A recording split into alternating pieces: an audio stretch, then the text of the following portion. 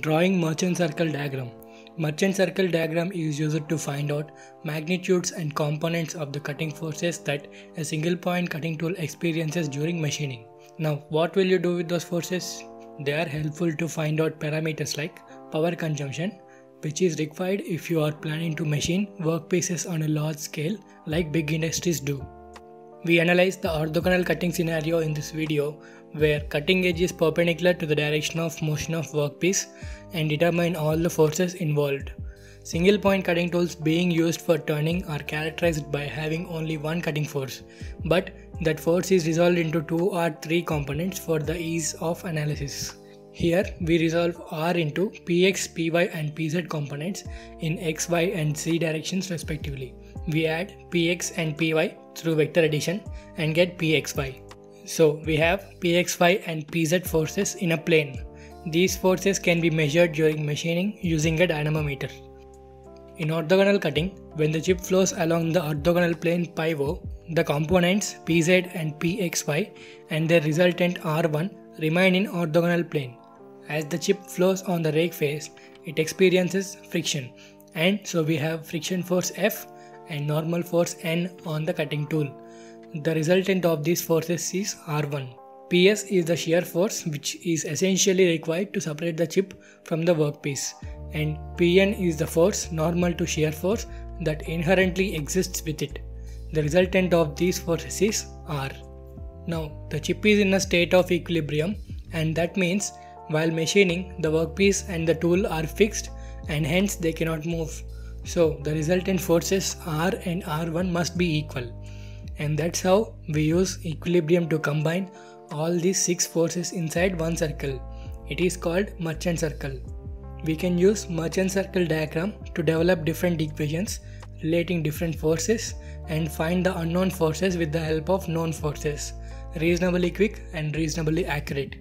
But the disadvantage is that merchant circle diagram is valid only for orthogonal cutting processes and it is based on single shear plane theory.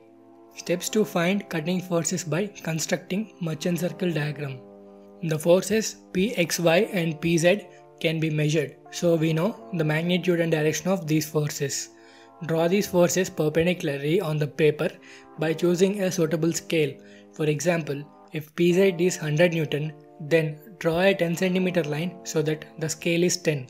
Similarly, if Pxy is 150 Newton, then draw a 15 cm line. Find the resultant R. Draw the merchant circle with R as the circle's diameter. Draw the friction force F at an angle gamma to the vertical line until it intersects the circle. Gamma is the rake angle. Draw the normal force perpendicular to the friction force. This line will meet the other end of the R. For determining PS and PN, we need beta, which is the shear angle. It is calculated using this formula. Tan beta is equal to R cos gamma by 1 minus R sin gamma. Here R is equal to T0 by Tc, where T0 is the depth of cut and Tc is the thickness of chip. Draw PS at an angle beta to the horizontal and draw PN normal to it. Since we have drawn Pz and Pxy using a scale before, we can multiply the lengths of other forces with that scaling factor and obtain the approximate values of those forces. The coefficient of friction is obtained by dividing the friction force F with the normal force N. Cutting power consumption Pc can be determined from Pc is equal to Pz into Vc plus Px into Vf. Here Vc is the cutting velocity and Vf is the feed velocity. Now Px and Vf are pretty small and they can be neglected. So power consumption is Pc is equal to Pz into Vc. Specific cutting energy is denoted by capital U and it is equal to Pc by material removal rate.